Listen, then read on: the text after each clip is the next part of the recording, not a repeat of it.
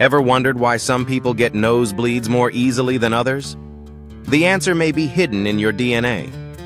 Genetic factors play a significant role in determining the strength and resilience of the tiny blood vessels inside your nose.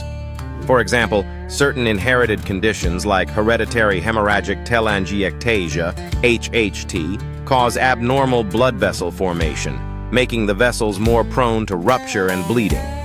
Even without a specific disorder, subtle genetic variations can affect the structure and elasticity of the vessel walls. Collagen, a protein that gives blood vessels their strength and flexibility, is coded by your genes. If your genes lead to less robust collagen production or altered collagen structure, your nasal vessels may be more fragile and susceptible to damage. Additionally, some families have naturally thinner nasal mucosa, the delicate lining inside the nose, which provides less protection for the underlying vessels.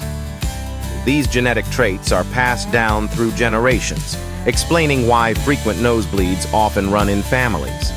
Understanding your genetic background can help you manage and prevent nosebleeds more effectively by guiding lifestyle choices and medical care tailored to your individual risk.